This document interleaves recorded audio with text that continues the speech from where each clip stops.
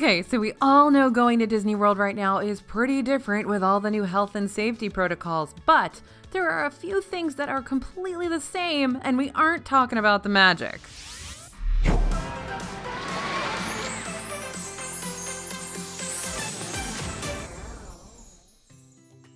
Hey everybody, it's AJ for Disney Food Blog. There are a whole lot of new planning tips you need to visit Disney World right now, but what about the things you don't need to worry about? Because they pretty much stayed the same despite 2020 being an absolutely bonkers year. From the good to the not so good, we're covering the surprising things that haven't changed at all in Disney World this year. So, number one is ticket prices. Ticket prices have stayed the same since the park reopenings, which isn't too surprising seeing how we just saw a big increase before the park closures.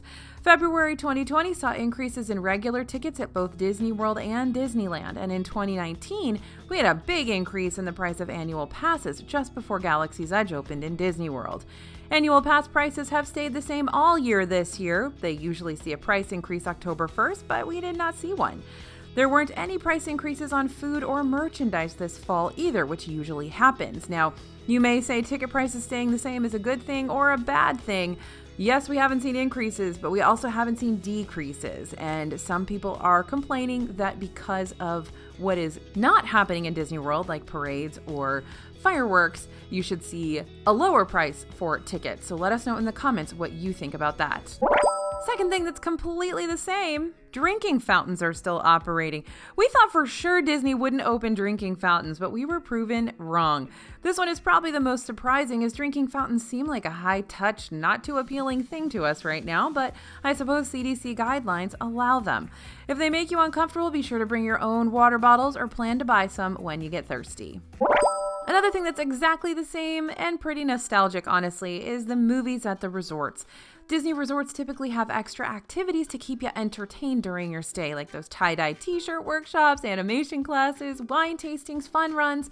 Most of those have been put on hold for the time being, though you still can do your tie dye t shirt workshops.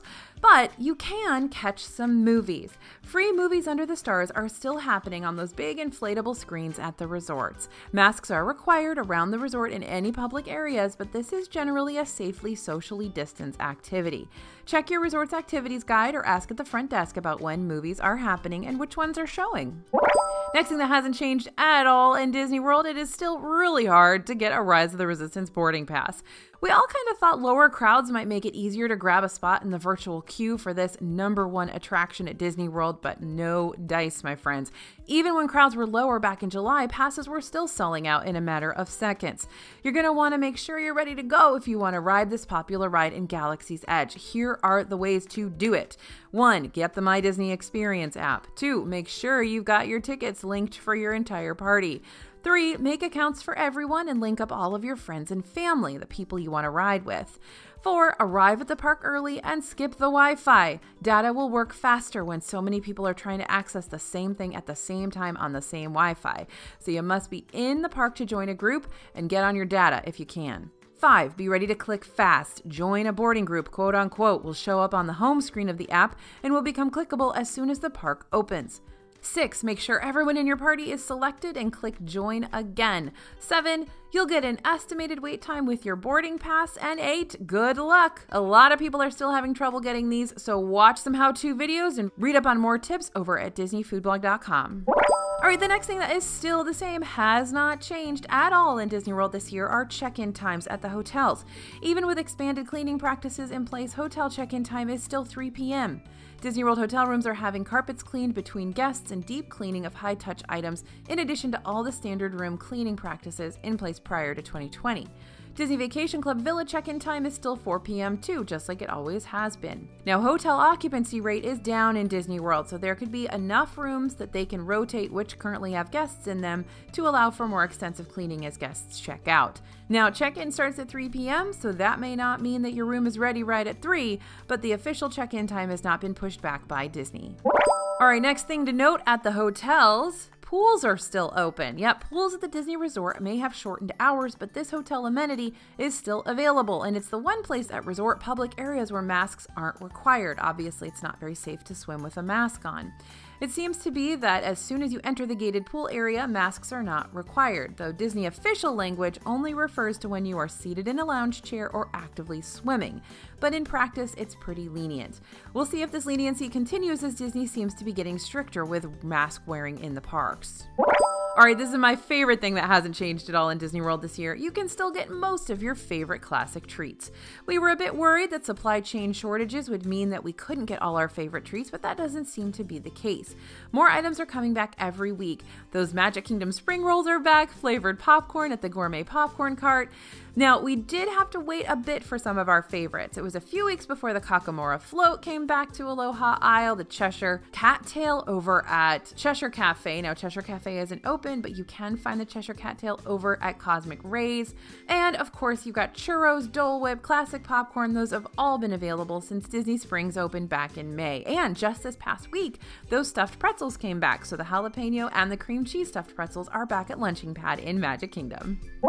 All right, those restaurants still have a 24 hour cancellation policy. So, even though Disney is waiving a lot of their cancellation fees right now around hotels, they are not waiving their cancellation policies for your restaurant ADRs. So, heads up if you have an advanced dining reservation. If you cancel your vacation, remember to cancel all of those dining reservations too. Disney World's restaurants still have that cancellation policy in place. If you don't cancel your advanced dining reservation 24 hours before, you'll get to pay $10 cancellation fee per person. So if you had an ADR for 4 people and you don't cancel in time, that's 40 bucks out of your pocket. Those fees can add up quickly and who wants to spend money on food they're not even eating, right? If something happens that keeps you from getting to your reservation, though, reach out to the restaurant or a cast member. They may be able to help you out and get those cancellation fees reversed if there's a legitimate reason you can't make it.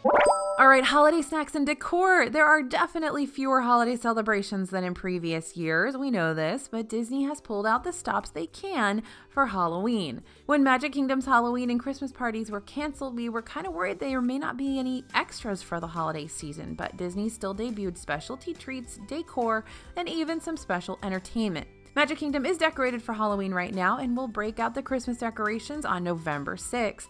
And there are special character cavalcades too, so right now you can catch characters in Halloween costumes and characters from Nightmare Before Christmas, as well as villains. And come November, you're going to get to see the toy soldiers from the Christmas parade and Santa, of course.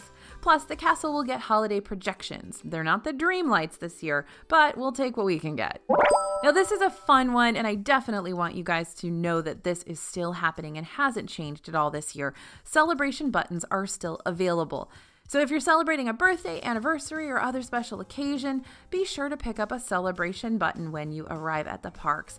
They won't be out on display like they have been in the past, but if you ask at guest services or at your hotel front desk, you can get one and show everyone that you're celebrating. All right, so this is a good one to know, especially if you need to rent a stroller, an ECV, or a locker. Those in park rentals are still available.